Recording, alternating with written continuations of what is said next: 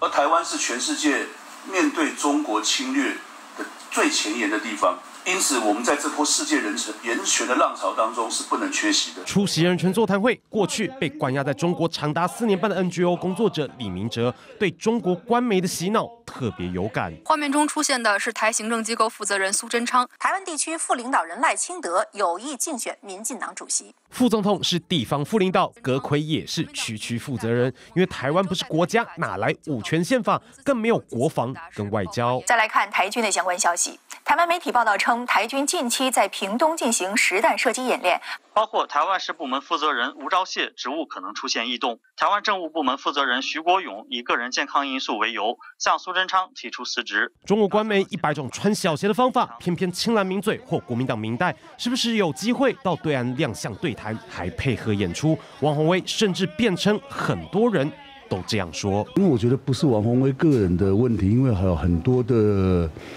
台湾的政治人物，他其实是去上央视那个专门针对台湾统战的一个海峡两岸的节目。呃，主要说你为什么会去上这个？因为这个节目是专门对台湾统战，而且是附和的中国这个对台政策、替中国对台政策做背书的一个节目。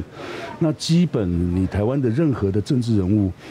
去上这个这种节目，基本就是在羞辱我们台湾自己的主权。李明哲先生的遭遇哦，我个人非常的同情。